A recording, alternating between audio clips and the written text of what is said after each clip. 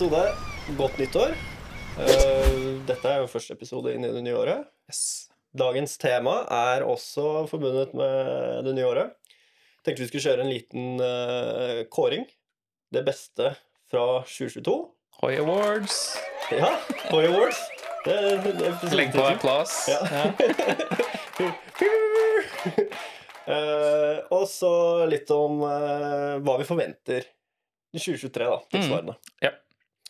Eh, vi har fått mye hard feedback på eh, produsent Johannes' eh, intro. Nei, jeg skal ikke legge skylda på deg. Det var faktisk vi som kom på den. Den har vi kutta ut nå, håper jeg. Ja, den er vekk. Og så mener Sondre at navnet på podden er jævlig dårlig. Så lite innspill til våre lyttere nå. ja. Kom, kom gjerne med forslag. Vi sliter med å Sliter faktisk med å komme på noe. Vi er gira på et nytt navn for podcasten. Hoipod, det er litt døvt. Så forslag mottas med takk. Det er jo veldig kult at eh, det har vært en voldsom økning i lyttere og seere på YouTube. Eh, så vi vet jo at det er mange som følger med. Så hvis du har forslag til navn, kommenter under. Eller DM på Insta. Eller e-post. Du Eller, kan- du kan ringe meg. eller ring. Ja. Ja, du kan godt ringe. Det er hyggelig å snakke med folk. Ålreit. eh, skal vi bare hoppe i det, da? Det gjør vi. Tenkte vi skulle starte med eh, feteste båten, eller yachten, fra 2022. Dette er ditt felt. Ja. Det er jo ganske mye som har kommet ut uh, i år. Men kanskje det kuleste, sånn mest letteste jeg har sett sånn ever, det er en uh, 146 meter yacht. Som er da en sånn såkalt sånn conversion yacht. Hvor de har tatt et donorskip uh, og konvertert det da til yacht-standard. Eh, og dette donorskipet var da et sånn såkalt sånn semi-submersible um, yacht-transportskip. Hvor du da senker da um, båten, fyller ballasttankene, senker den delvis under vann, sånn at båtene da kan seile oppå, fester de, og så heiser du opp båten og kjører videre. Uh, så er det da en, uh, en litt uh, kreativ yachteier som funnet ut at dette her var en ekstremt kul plattform å bruke for å bygge yacht. For da kunne han eh, Han ville blant annet ha en 46 meter stor seilbåt på dekk for å ta med seg rundt. I tillegg så har han plass til en sånn 70 forskjellige leker. Ubåter og tendere og bugger og you name it. Vi var innom det derre uh, Shadow uh, follow uh, yacht-konseptet Ja. i forrige episode. Men dette er jo et helt nytt nivå, da. Han har liksom tatt det på an andre Han har liksom snudd litt på det. Ja. Han skal ha liksom Jeg skal ha den sykeste sportbåten som jeg skal bruke som moderskip også. Men får han plass til noe særlig eh, Er det noen kabiner og sånn i den? Det er plass til 20 gjester. Ok, så han har liksom det, det, nesten litt sånn røkkestil, da. Party in the front, uh, work in the back. Så ja, han har uh, full size tennis court på dekk. ja, det er når den er over vann, da, håper jeg. Over vann, ja. Så um, må legge opp noen bilder, eh, Johannes, så Ja, folk kan det se. Det er Men helt hvordan funker det? Det er en, det er en ubåt som kan gå opp? Det er opp cheap, men du kan, du kan senke det. Sånn at, senker hele sånn at hele akterdekket på en måte går eh, et par meter under vann, da. Det tror jeg ikke forstår i det hele tatt. Det, Nei, det, men hvis du senker dekket på båten okay. du sånn at den kommer under vann, så Ok. kan andre båter kjøre oppå, og når du da hever den, så løfter du den opp og ut av vannet. Så i teorien da, så har du en flytende dokk. Ok. Flytende, ok. tørrdokk. egentlig. Ja, det, er- det er jo det du har. En kjørende dokk. Basically. Ja. Mm, Bare sjukt. i yachtstandard og med yachtutførelse. Hvor stor sa du at den var? 146 meter. 146 meter. Okay. Så Samme size som et sånn medium tankskip, da, egentlig. Det er helt vilt. er det russisk eier? Vet du? eh, aner ikke. Nei. Det har i hvert fall vært eh, tre år på sånn conversion-bygg på et eller annet verft i Tyrkia. Så um, sykt kult og helt tåpelig lættis. Så den vinner helt klart feteste for 22 s er, det, Feteste og dummeste, vil jeg si. Ja, de går litt hånd i hånd for det. Ja. er det første gang det har skjedd? At noen har bygget det? Ja, som en yacht, ja. Ja, Okay. For de har jo normalt bare transportert andre båter eh, over Atlanterhavet, for eksempel, da. Okay, Som okay. ikke kan ha range nok til å kjøre selv. Fett. Han her er klar for uh, Armageddon. Det jo... han, kan, han kan bare stikke av. Men han har bare skjønt det. Ja. Han bare 'Jeg er keen på sykt mye båter, jeg vil ta med alle overalt'. Ja. Sjøfly har han, da. ja. Det er liksom Klart det. Han har alle lekene. Ja. Ok, det er, det er definitivt vinneren av eh, årets feteste domste. Eh, neste kategori er beste båtutstyr under 1000 kroner. Det er jo eh, mye som kunne vært puttet inn i den kategorien. Men uh, for min del, så Denne tror jeg jeg har snakket om før også i vloggen. Helt klart. Men uh, vi kjøpte en sånn uh, En nal, eller en svabel. Og dette er jo egentlig ikke noe revolusjonerende. Det er jo Også kalt waterblade.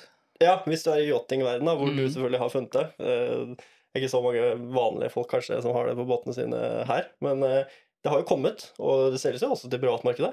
Og det er verdens enkleste ting. Det er jo bare en nal eller en svabel som er håndholdt, som du kan bruke til å tørke av eh, overflødig vann med når du har vaska båten. Dravann, ja. ja. Så det, det bare gjorde nummer én bruken av mikrofiberklutter redusert med 10 000 Og uh, nummer to, det er liksom Etterlater ingen merker, ingen striper. Uh, veldig skånsomt. Det er bare Det er et dusteprodukt som er jævlig effektivt, og som jeg har brukt helt sykt mye. Så Ja, for det er litt overkill uh, med mindre du har en veldig liten båt.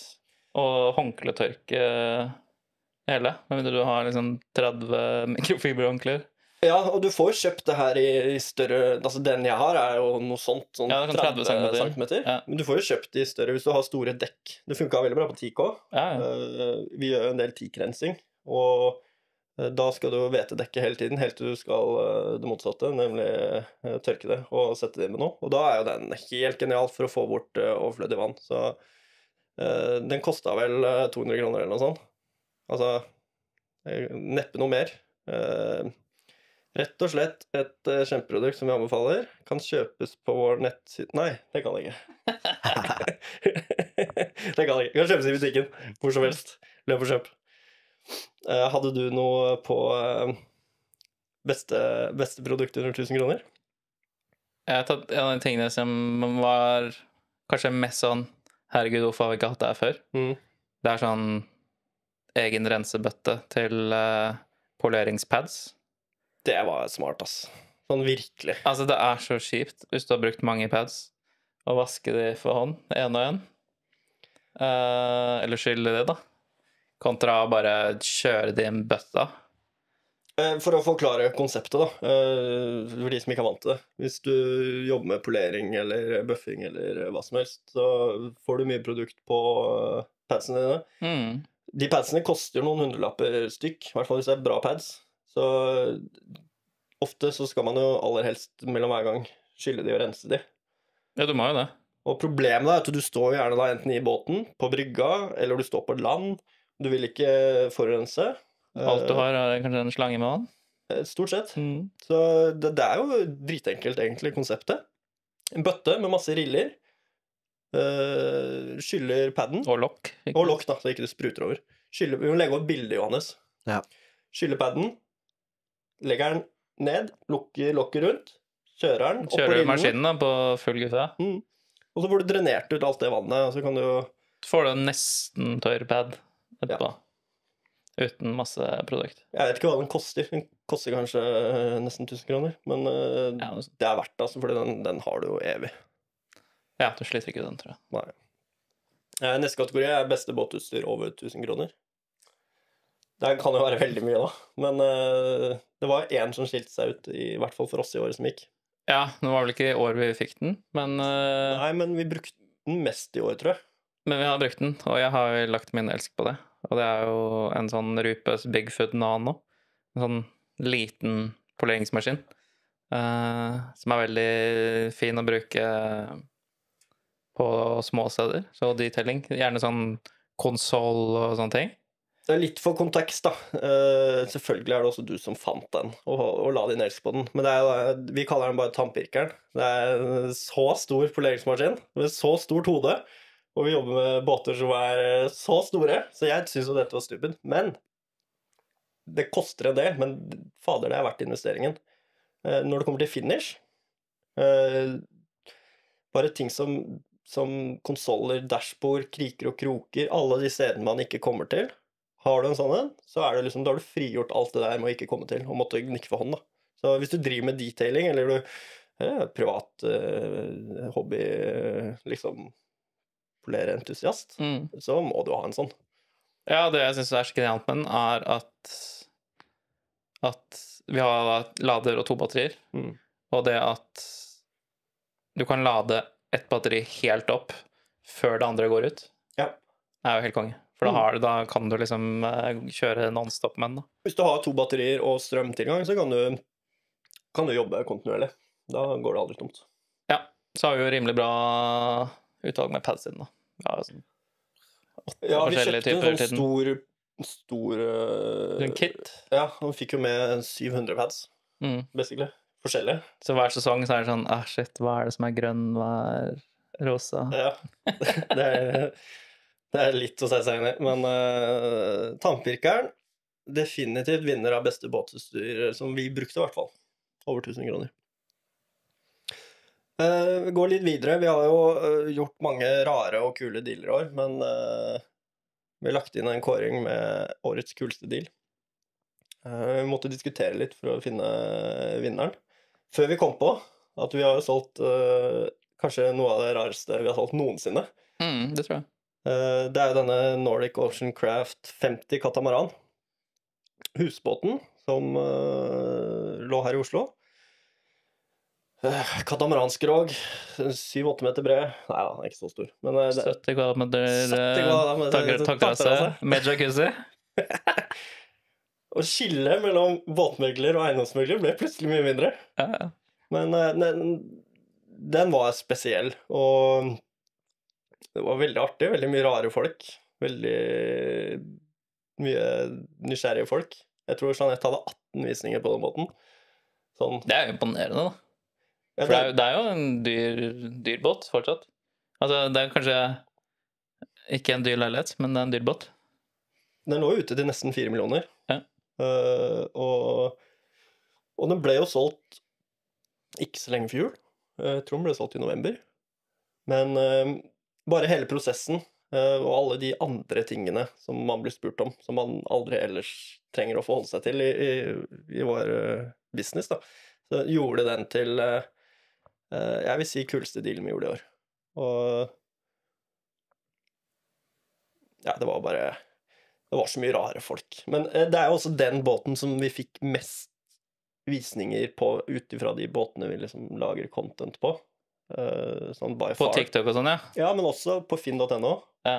Eh, Så vi snakker jo om hundretusenvis av nordmenn som har sett den båten. Og da vil det jo nødvendigvis komme en del weird folk innom òg. Så eh, vi er i hvert fall veldig happy. Hun som eide den, er også veldig happy med salget. Og eh, jeg tror vi må konkludere med at eh, det er eh, blant de kuleste dealene vi gjorde i år. Eh, Det går jo eh, bringer meg over til neste kategori, da, som er vanskeligst dealen. Eh, Og der har jeg satt Volley 45 Tender. Den kunne like gjerne vært i kuleste dealen også. Eh, vi har snakket så vidt om den før. eh, en Wally Volley 45 Tender som ligger i, i USA, ligger i Florida. Og eh, båten i seg selv er såpass spesiell at den kvalifiserer for å være den kuleste. Eh, og så er det jo det rundt som gjør den til den vanskeligste. ja. For legge til at du representerer kjøpere her, da. Ja, det er en, kjø en kjøpedeal, da. Så, så jeg har ikke solgt den, jeg har vært med å, å kjøpe den. Men eh, det byråkratiet vi møter i, i USA, og papirmøllen Det får skipsregisteret til å være barnemat, ass. Nå er sånn E-posttråden min med, med Sjøfartsdirektoratet er på sånn eh, 38 sider eller noe sånt. Så de er sikkert drittlei av meg, men det er jo jobben deres, da. Så det, det er hele tiden fram og tilbake med dokumenter, da. Og én ting er jo USA-delen av det, men Volley, da, eh, aka Fretty Group, er jo andre delen av det. Og det visste vi jo fra før av, at det kunne by på litt utfordringer. De er ikke så veldig enkle å ha med å gjøre når du trenger noe papir fra dem. Nei. Du gjorde en Riva-registrering eh, tidligere i år. Ja, det tok vel seks måneder, tror jeg, å få de papirene jeg ville ha. Det koster jo en formue i tillegg, så Jeg vet ikke jeg vet ikke hvorfor det skal være sånn, men det, det er sånn derre Ja, men de er italienere, så Ja, det bare blir sånn. Ja. Og så har de litt sære lover og regler i landet sitt. Ja. Uh, og så var Riva veldig på sånn GDPR og bla, bla, bla. De er Børsnotert nå, vet du. Ja. Så, eller er de det? Ja. Og så er det jo en, en ting er når de ber om tusen ting du skal fikse, Mm. men hver gang du da sender de det, så kommer de med nye ting. Mm. Bare sånn oh, sorry, you have to fill out this form as well. Ok, hvorfor har jeg ikke sendt den her før, da? Kom du på det nå? Du måtte vel eh, Du måtte vel til og med på politistasjonen i den dealen? Altså i Norge, da. Uh, ja, fordi eh, Riva skulle ha da en uh, De skulle ha fra politiet i Norge en, en tapsmelding på at dette skjøtet var mistet. Ja, og en tapsmelding, det betyr Og det- det, måtte, Og for, politi, og for politiet i Norge så blir det sånn Hæ, det, det finnes ikke, liksom. Nei. Uh, men vi fikk fikset uh, noe jalla greier på engelsk, og så sendt til alle med politiets stempel på, Da så var det greit. Det er jo en fordel at det, det fortsatt finnes mennesker bak en skranke det går an å snakke med, i hvert fall i Norge. Ja da. Du møter ikke bare, det er ikke bare et system sånn smekk. Det er sånn OK, vi kan prøve å hjelpe deg. Mm. Det, det var jo litt fint å, å se. Så. Men det, det var eh, kuleste deal, vanskeligste deal.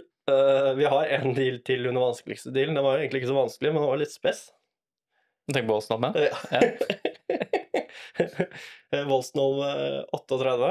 Um, av to, er det ikke det? Én av to bygget. Ja. Uh, om jeg tenker meg om, var det uh, tysk verft Uh, Var det ikke det? Jeg tror det var norsk båt, jeg. Det er ikke bygget i Norge, nei. Å, jeg trodde det var det. Nei, nei, men tegnet og eh, en norsk entusiast som har fått den bygget Å. på verft i Jeg mener det var Tyskland. Uh, Klenodium.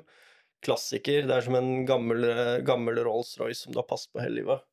Uh, den lå nede på, på Orust uh, hos et verft som spesialiserer seg på, på sånne ting.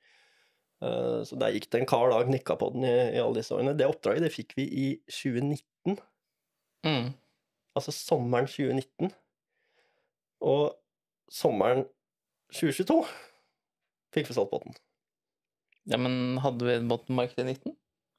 Ja, vi begynte Det var jo i 2020 vi var uh, i Sverige. Ja, men jeg kommer til det. Fordi uh, det som skjedde mellom 19 og 2022, var jo uh, litt av hvert. Mm. Det var, var noen restriksjoner på reise og sånn.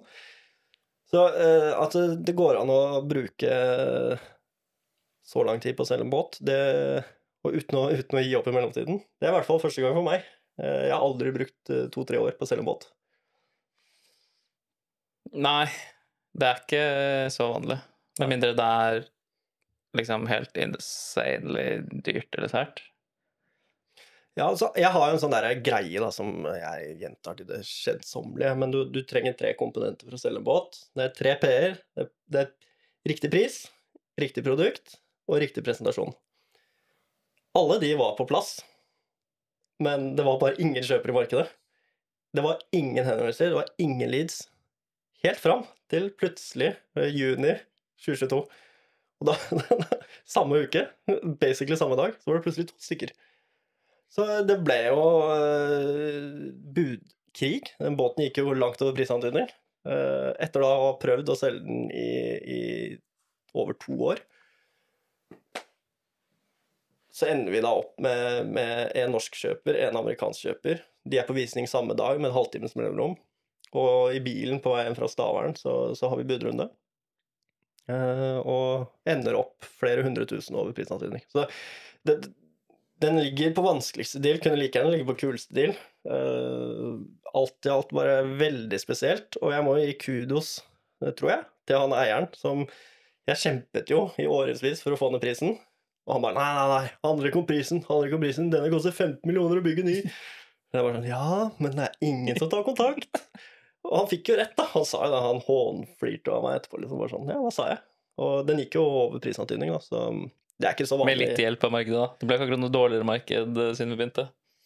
Nei, det var, eh, det var drevet av det. Og så hadde du da to entusiaster som så at dette er one of a kind. Det er helt unikt. Du får ikke tak i noe annet tilsvarende. Da må du bygge det nytt, og det koster kanskje ikke 15 millioner å bygge nytt, men si det koster 8-9 millioner da, om du skulle bygge det på den måten. Ja. Så, så de så verdien i det, og, og han som eier båten nå, det endte jo opp med nordmann, det er kult, for da er båten i Norge. Uh, han har kjøpt et smykke, og det smykket kommer til, hvis han tar på det, enten å holde seg i verdi eller stige i verdi. Mm. Det er jeg ganske overbevist om. Så um, det er en veldig spesiell greie, og superkult å være en del av. Uh, og båten var jo knallfett. Vi har noen videoer ute av den, så du kan bare trykke her eller her, eller kan dere se på den. All right. Uh, wrap opp uh, highlights med, På shoutouts. med shoutouts. Fordi vi, vi er jo en del av en uh, liten, men stor bransje. Og veldig mye skjer på veldig komprimert tid. Mm. Sesongen går jo øh, over hele året, men den går jo i, i langt høyere tempo mellom mars og uh, si oktober eller september. Uh, og da skal alle gjerne gjøre alt på en gang samtidig. Uh, og hvis ikke du er well connected med gode samarbeidspartnere, så får du juling. Ja, altså i hvert fall de siste to-tre årene spesielt har det vært helt insane. Mm. På sånn opplag, verksted eh, Ja, egentlig alt du vil gjøre med båten, enten det er sykkelasje, whatever. Ja. Det har vært helt eh, insane pågang. Ja, det har vært voldsomt. Så da også få muligheten til å snike litt i køen når det brenner litt, det er, det er viktig. Det er helt avgjørende, og for oss så vet vi at det ikke er en selvfølge på noen som helst måte. Uh, kundene forventer jo at vi har løsningen på alt. Så, og det sier vi jo at vi har, for det skal vi ha. Men har du ikke bygd de relasjonene og skaffet deg de samarbeidspartnerne, så Ja, altså, på ting vi ikke kan gjøre selv, da. Ja, in-house. det er jo underleverandører gjerne vi snakker om her, da. Og uh, vi er helt avhengig av de for å få dette her til å gå rundt. Så, uh, og jeg håper det går begge veier, at vi også hjelper de når, når de eh, trenger det. Uh, vi prøver i hvert fall alltid å gjøre det. Mm. Så I år så var det to som, som stakk seg ut. Den første den var jo en ny, en ny bekjentskap for året, egentlig. Vi var innom årets feteste båtutstyr over 1000 kroner fra Rupus. Vi ble jo såpass hva skal vi si, engasjerte i produktet at vi begynte å legge ut litt, litt content om det, bare snakke om det. Jeg bare brukte den. Ja, selvfølgelig. Og så var det vel en episode hvor, eh, hvor disse to unge guttene hadde lånt den, og den sluttet å funke. Ja, det, vi kan linke til det også. Den episoden er litt artig. Sigurd og, og, Og Jon. og Jon var eh, og jobba på en båt. Vi var i Fredrikstad og gjorde noe annet. Og så ringer de og sier at de har ødelagt en splitter ny maskin. Da gikk det en kule varmt i, i topplokket her. Jeg har akkurat kjøpt en ny maskin til mange tusen. Men eh, det som skjedde da, var at uh, den norske importøren av Rupus, han uh, reacha out uh, helt ut av det blå på Instagram, tror jeg. Og sa at eh, ja, ja, nei, men eh, vi sender deg en ny en. Så jeg var sånn OK. Ja, sure. Gjør det. Ja takk. og til love and behold, et par uker etterpå så lå det en splitter ny boks på Mm. kontoret. Så han, han skal få shout-out for uh, årets samarbeidspartner. Bra service. Ja, det er bra service. Vi spurte jo ikke om det engang. Det, bare, det ble bare gjort. Ja. Det var kult at han så på, da. Ja, det er kjempekult. Og jeg snakket jo litt med han i ettertid, og vi har jo blitt enige om at vi skal prøve å lage litt, uh, litt innhold sammen. Uh, vi elsker Rupus. Så nå har vi jo fått, uh, fått tilsendt en goodiebag. Det gjorde ikke at vi elska det noe mindre. Så, så jeg håper vi kan ha det samarbeidet også i neste år. Ja, Det er veldig kult. Det var en annen ting som også skjedde med disse gutta uh, som vi hadde i år. Uh, Mm. Sommervikarene våre. Som gjorde at eh, vi var avhengig av flere underleverandører. Jeg vet ikke om du husker en Goldfish 23 fra midt på sommeren i år? Ja. Nei, vi hadde en, eh, en Goldfish 23 som vi skulle ha på salg. Uh, vi fikk den vel litt på salg uh, litt sånn sent på våren, tror jeg. Så Ja. det var liksom sånn Det begynte liksom å haste litt, da. Du ville ha den på markedet rimelig asap. Um, og det var um, Det var noe folie på, på skrogsidene på denne båten. Um, Det var noe reklame, reklamefolie ja. uh, som skulle vært tatt av. Ja. Så for å få av disse, og liksom få da polert opp skrogsidene, sånn at ikke dette, det var noen limrester eller noe som var synlig, så måtte vi ha den på land. Ehm, så da fikk vi vår eh, eminente trainee eh, Sigurd til å ordne med en eh, passende henger som vi kunne bruke for å ta den opp og ned den dagen og gjøre den jobben. Um, vi glemte vel kanskje å si til han uh, at uh, siden dette er en goldfish med steppet skrog, så bør du finne en svelehenger. Eh, om ikke en svelehenger, i hvert fall en henger med hjul, da. Eh, ordentlig hjul. Større, større hjul. Ja, ikke disse små, blå, runde plastikkgreiene som de fleste båthengere har. Vi har hørt om det før, men problemet med eh, mange båthengere som har disse små plastikkhjulene av steppeskrog, er jo at du får jo båten opp, men du får den jo faen ikke av igjen. og det var akkurat det som skjedde. Det var akkurat det som skjedde. Og vi prøvde, og vi stuka i timevis. Ja, jeg har lyst til å si dagevis. Det ble dagevis, men det startet med timevis. Vi Ja. prøvde virkelig å få den av uten. For alternativet hadde liksom vært å kjøre så langt at bilen omtrent var ute i vannet. Ja. Men det var vi ikke så Ja, keen du, måtte jo, du måtte jo da kjørt hengeren langt nok ut. Vi prøvde med forskjellige ramper òg. Langt nok ut med riktig vinkel, sånn at du får løft i båten, da, og du får løftet den over det steppet. Men uh, da hadde jo Cayennen din hatt bak bakluka full av vann, tror jeg. Så det var, var ikke helt heldig. Nei. Så da, um, da kommer vi til håper å si Henning hos uh, Snarøen båtservice, som har hjulpet oss uh, mange ganger uh, med at uh, Fortalte han at det, det brenner litt. Vi må ha denne Vi har en båt som er stuck på en henger, og denne hengeren hadde en leveringsfrist. Og den var allerede allerede utleid etterpå, så det var liksom ikke mulighet til å forlenge det. Vi snakket om timer. Det var sånn, sånn Den hengeren må være tilbake en Vi hadde leid den 24 timer, tror jeg. Og vi Ja. sto hele kvelden og strøk om å prøve å få den av. Og så hører vi med Henning. Uh, og han De var jo selvfølgelig åpne da, men han sa liksom Kom i morgen tidlig, så får jeg den av, liksom. Mm. Og det gikk jo veldig fint når du hadde trøkk. Ja, jeg tror vi Men, må uh, understreke det med at uh, å ringe noen i båtbransjen som driver med opplag eller med, med lifter og sånn, i hvert fall i Oslo Sånn å ringe og spørre om noe sånt, og så forvente å få det gjort i løpet av timer, det, er, det skjer liksom ikke. Det er ikke snakk om. Det er så trykk. Særlig på sånn forsommeren, når du vet at de har så sykt mye å gjøre med båter som skal, Ja, de- som skal jo ut. Og så noen vil jo opp igjen, for de har ligget ute om vinteren vil vi gjøre vårklargjøringen da. Og da liksom kunne få liksom de til å sette av tid til å ta deg imellom, det er helt gull.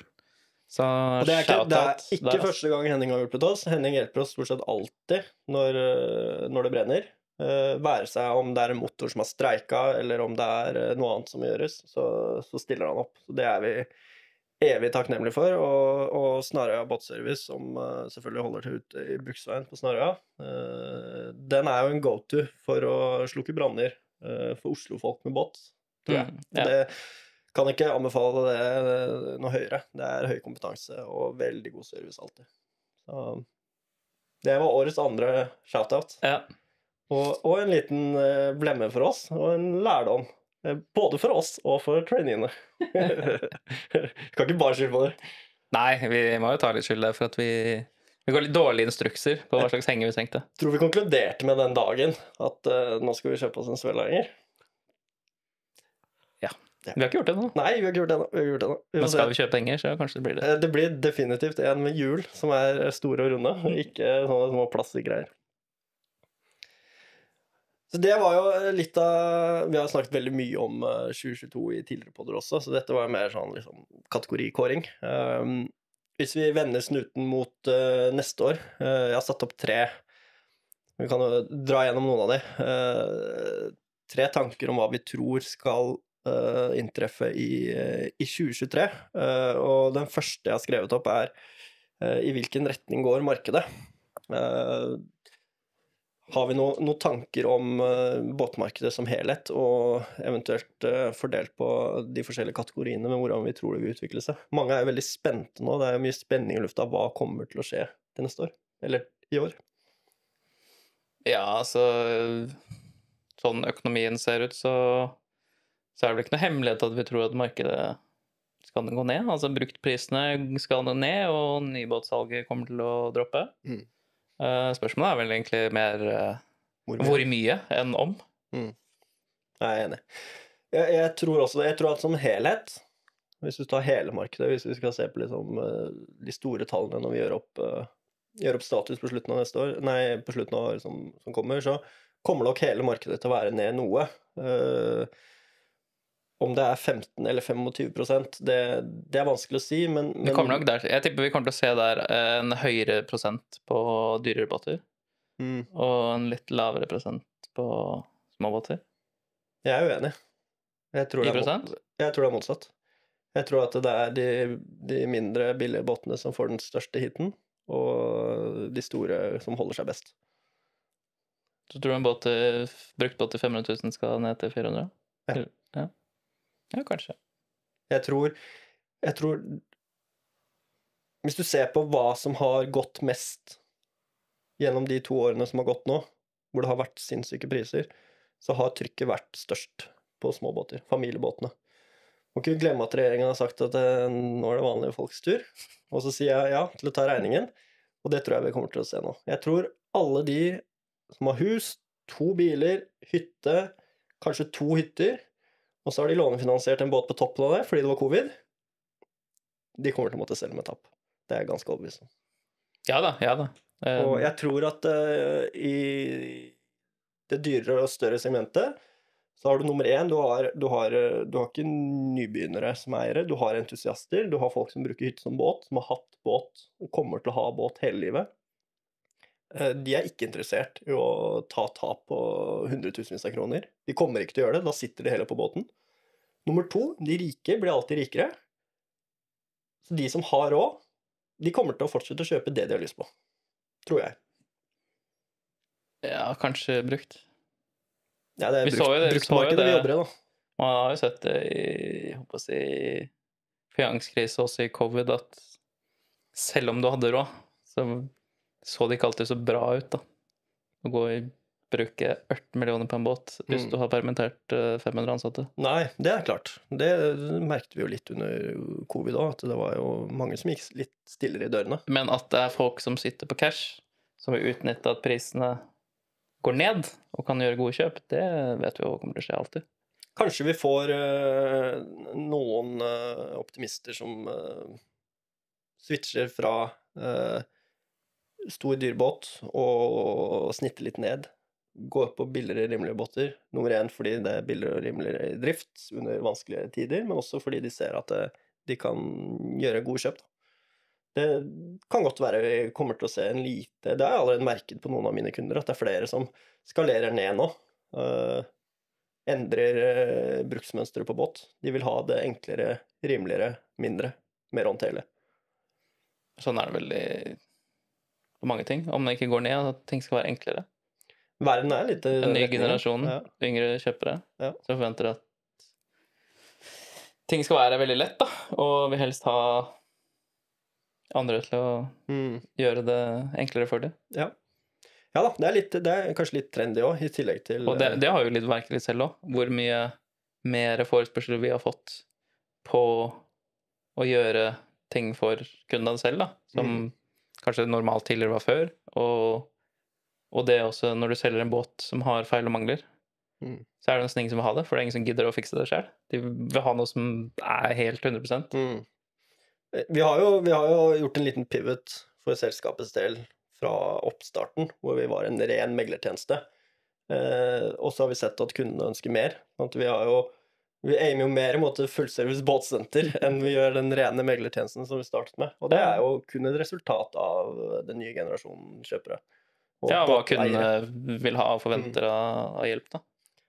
Fordi de, de vil ha et sånn one stop-sted. Bare sånn OK, du har kompetansen, du har ressursene, du har uh, båten. Jeg vil at du skal ordne alt. Alltid. Mm. Uh, og det gjør at vi må utvikle oss, da. Eh, vi syns jo det er gøy, så det har vært en kul opplevelse. Det kommer vi til å jobbe mer med. Det kommer til å bli mer greier vi, vi leverer. Men jeg tror at den nye generasjonen båteiere ønsker det enklere, mindre hassle, mindre å håndtere selv. Hva tenker vi om uh, uh, utviklingsmessig? Eh, hvilken retning er det vi går eh, for, eh, for båtmarkedet i 2023? Jeg tror vi vil fortsette å se at seilbåt er veldig hot. Mm. Det har det vært i en del år nå. Um, du får mye plass. Det er billigere å drifte en motorbåt. Ehm, Og så er det ja, det er også mer miljøvennlig motorbåt, ikke minst. Du kan ikke undervurdere det, det faktumet der. Vi vet at det er en grønn bølge over verden, og det er jo også veldig viktig. Så seilbåtene Mange sier at seilbåtene gjør sin uh, relansering, liksom, men, men, de har jo vært der hele tiden, så det mener jeg ikke er helt riktig. Men det er en økende trend, uh, og seilmiljøet har slitt med rekruttering i mange, mange år. Nå tror jeg kanskje de uh, slipper å rekruttere så mye, rett og slett. De, fordi... de sliter med regattaseilerne. Ja. Fordi de båtene folk kjøper nå, er De skal ha alle fasiliteter. Det skal være en flytende leilighet ja. mer enn en båt, helst. Og de seiler helst fra brygge til brygge. Ja. Konseptet med eh, regattaseiling og eh, flytende leilighet, det, det mikser ikke så godt. Og det er mye motorseiling, tror jeg. Mm, det er det. Du bare ser ut vinduet her. Uh, lite seil oppe. Men uh, Men allikevel så er det en populær båttype. Mm. For, håper å si, familier, som en, som en flytende hytte, da. Mm. Ja, vi, vi, ser jo litt den trenden. Uh, yngre generasjon finner ut ok, seilbåter de gir mye rom, mye plass, mye glede på relativt liten uh, kostnad. Uh, så har du seilere som seiler til de blir godt voksne, og så bytter de tilbake til motorbåt, for da er seilbåten ikke så trygg og ikke så komfortabel. Og... Ja, ja, men det er å si bare at hvis du, si du er en relativt ung familie da, på fire stykker, og du har kanskje én million i budsjettet eller noe sånt, mm du får veldig mye mer feriebåt for en million på seil enn på motor. 100 For ikke å snakke om driftskostnadene på de to, da. Ja, ja. Uh, og driftsøkonomi, forsikring Båtplass er ganske likt, men For mindre du har en veldig gammel motorbåt, og du har én million, så du har kanskje liksom én stikklugar og, så, og noen sover i salongen, liksom. Du har ikke tre lugarer pluss salong, sånn som det gjerne er en seilbåt. Med mindre du skal gå veldig gammelt, så vil jeg si det er vanskelig å finne en fornuftig familiebåt til fire for én million på motorbåtsiden. Ja. Altså, det er OK.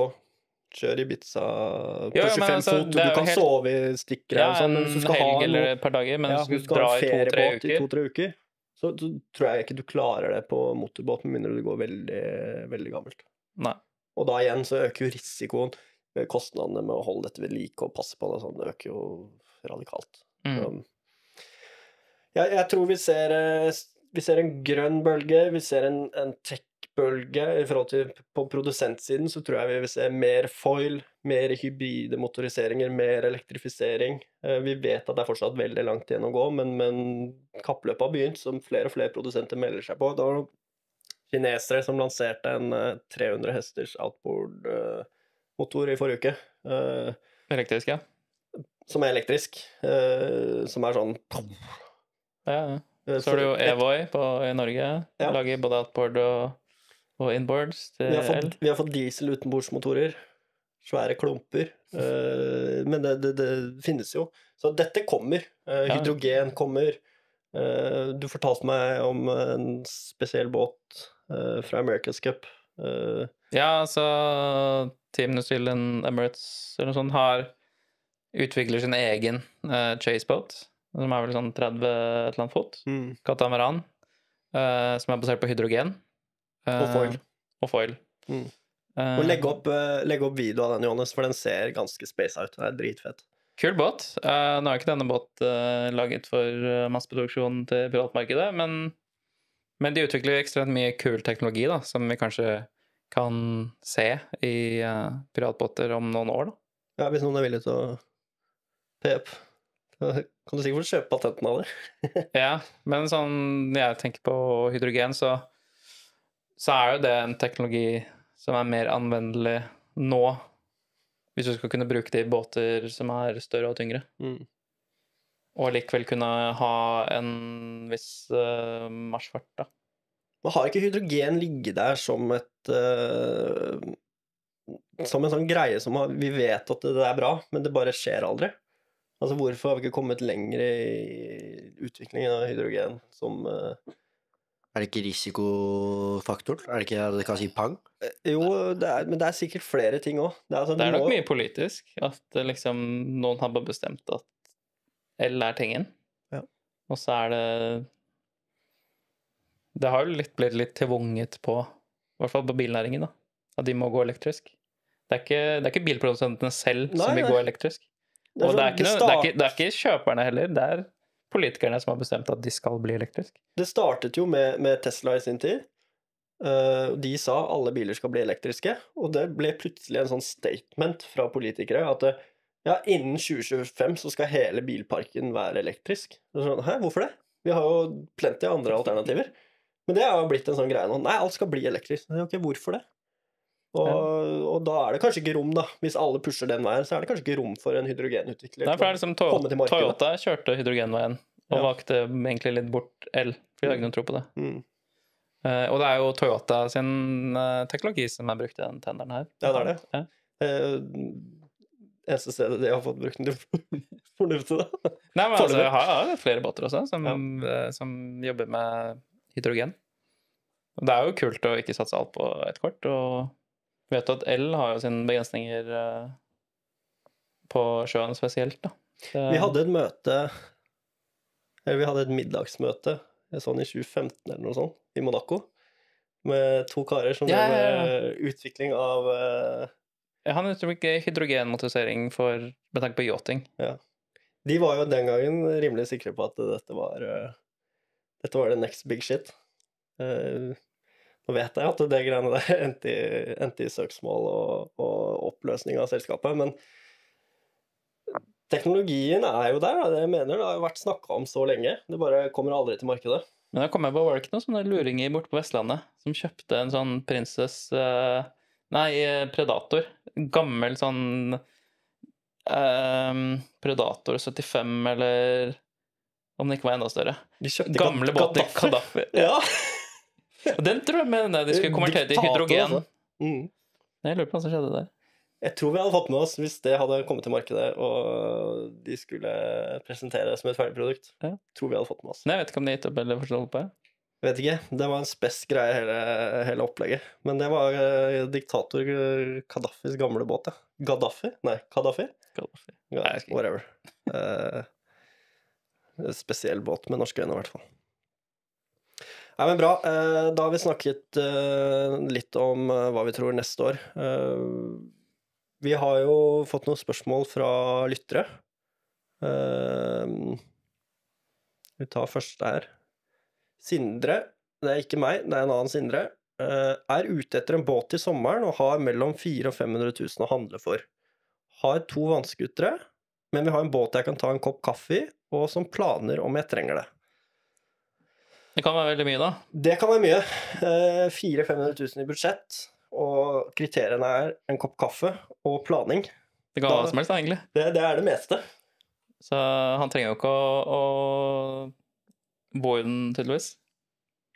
Nei, la oss ta utgangspunkt i at han snakker om en daycruiser, da, Ja. eh, som har litt grann fart, eh, som funker som en bra badebåt, og som har koppholder. Eh, hva foreslår du? Eh, det første jeg tenkte da jeg- så han uh, skrev det på Insta, så, så tenkte jeg på sånn Nordkapp Enduro. Ja, skjærgårdsskipretningen, rett og slett. Ja, sånn type ja, 705 blir kanskje litt dyr, men en 605, da. Ja. Uh, superpraktisk båt. Den også har vi gjort en uh, test av. Har vi ikke det? Jo. Mm. Vi tok en 705, da, riktignok.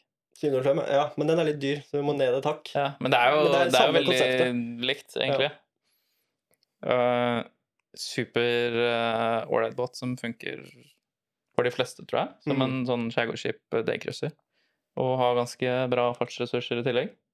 Den er kul. Den er uh, Den ser sporty ut. Den, den oppleves som sporty i, i sjøegenskaper.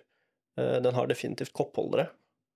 Og badestiga og litt Solseng, ja. litt avhengig av utstyrsnivå, selvfølgelig. Men du du, kan få den veldig høyt spekka med kjølebokser og alt mulig rart, men, Mm. men, men som en sånn basic så tipper jeg du kan finne den brukt for 400 000-500 000, eh, eh, i hvert fall til våren. ja. Så det kommer litt an på hvor mye du vil plane, da. Så hvis du nesten aldri skal gjøre det, men ligger mest stille, så ville jeg jo kanskje valgt en litt mer stabil båt, kanskje. Ja, da er vi over mer på uh... Kunne vi funnet en gammel Chris Craft 25 Mm. Corsair, eksempel? mhm. Vi kjenner jo litt til de båtene. Ja.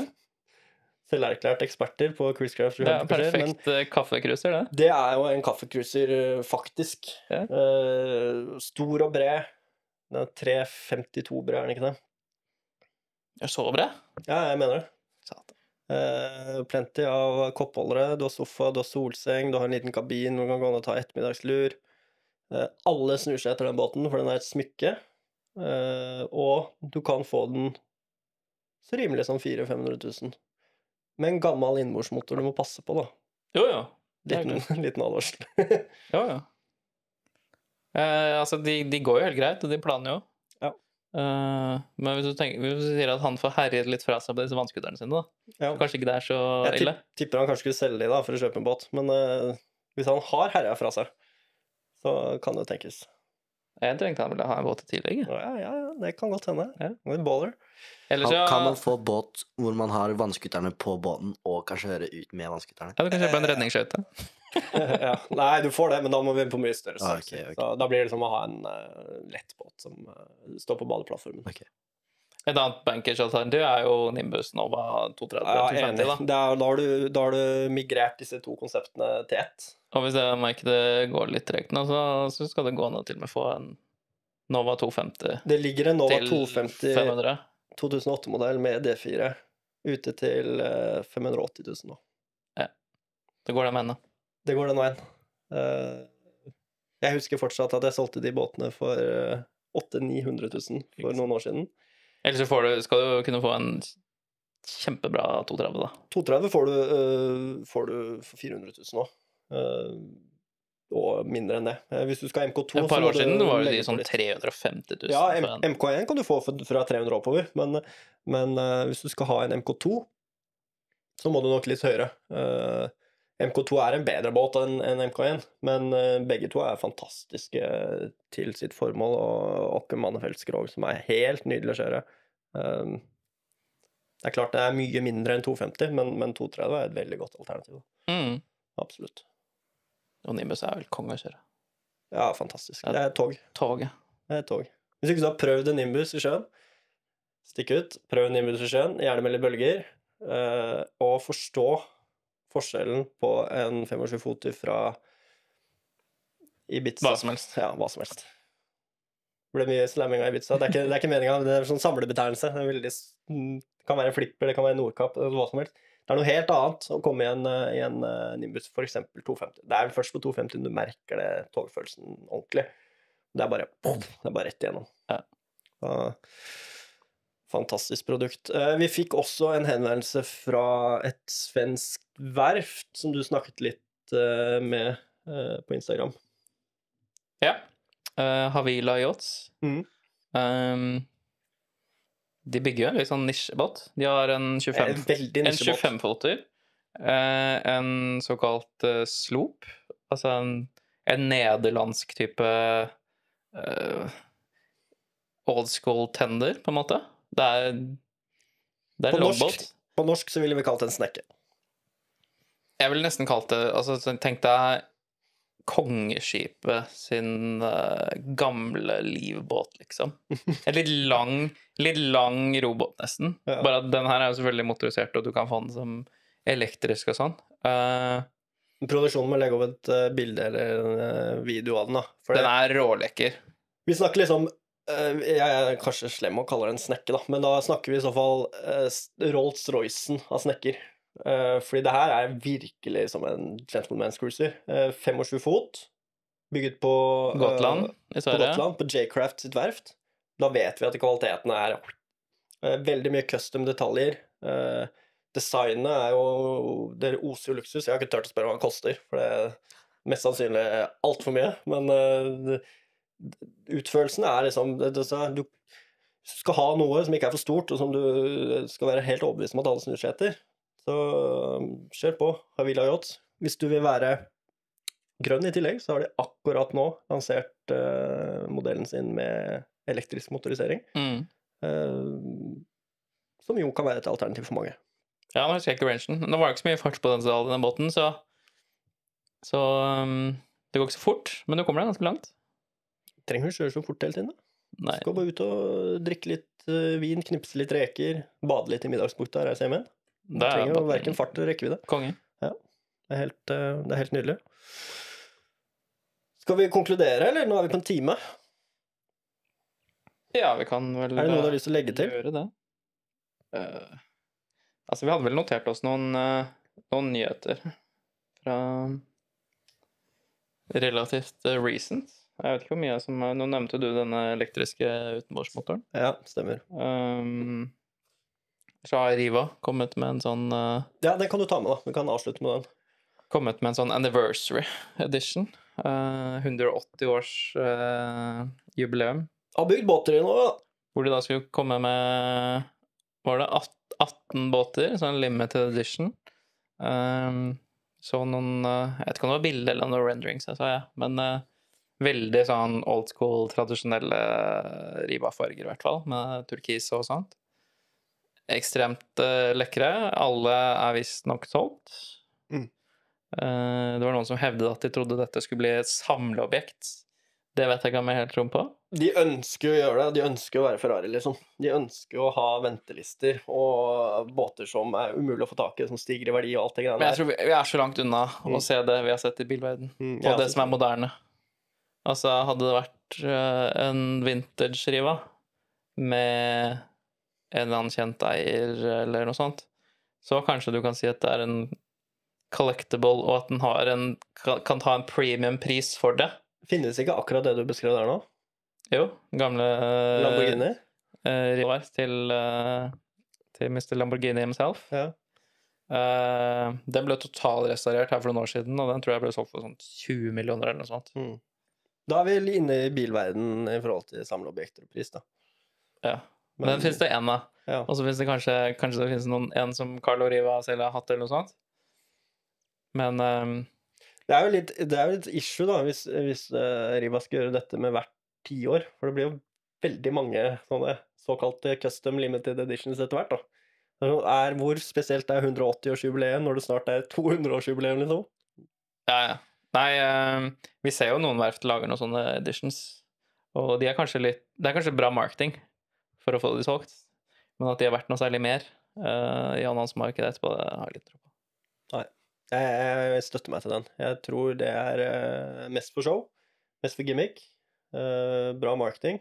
Men jeg tror ikke jeg ville anbefalt noen av våre lyttere å Hvis Arne Fredelig hører på, så hold deg til bil. Ikke stikk og kjøp en, eh, en limited 180-årsutgave av Kanskje han, kanskje han har kjøpt en dem. Ja. Sorry. ja. Nei, eh, jeg tenker vi sier eh, at det konkluderer med dagens episode. Ja. Og så ses vi neste uke. Hvis du ennå ikke har Ja, det er rolig. kanskje? rolig da. Det var litt, litt heavy, og nå begynner jeg å begynner jeg å si det. Du må ikke si det. Etter boot, i hvert fall. Ja, boot er i slutten av januar. 21. Ok.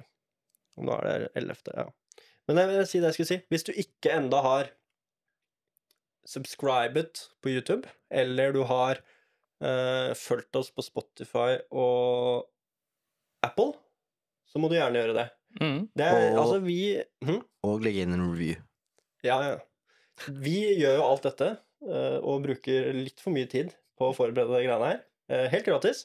Det eneste vi ber om i retur, det er at du går inn, det tar deg ti sekunder, klikk på følg, legg igjen en review. Takk for det. Hvis du har lyst. Ja, jeg skal ikke tvinge noen. Hvis du syns det er bra, da. Hvis ikke, så må du ikke gjøre det. Det hjelper oss i hvert fall veldig, og vi hadde satt pris på det. Og hvis eh, det er noen flere som har noen eh, spørsmål de vil ha svar på på neste episode, så er det bare å kommentere på YouTube eller sende oss en eh, DM på, på Instagram. Så skal vi prøve å få svart på det i neste, neste podkast. Absolutt. Takk for i dag. Takk for i dag. Ha det bra.